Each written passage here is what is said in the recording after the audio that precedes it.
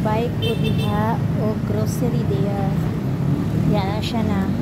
Di ako mag-buy og pang grocery na ko diha. So kaunti lang daw kasi wala ako ang wala ako ang wala ko yung pera pang, pang tamang budget lang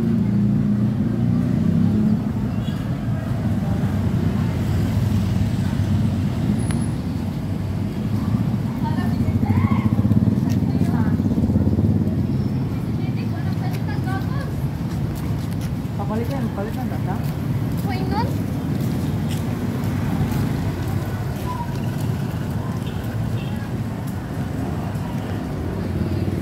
So, ang pangit pag ganitong oras there is pag naninita, ang daming tao. So, ko- ayaw ko sana pero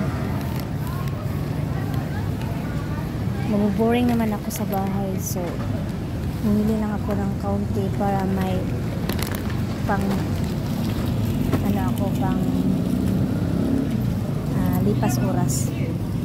So, magdadrive muna ako there.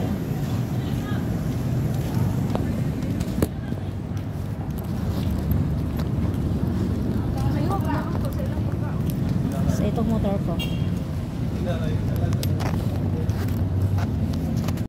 Ini-off ko yung deck kasi yung mga tao parang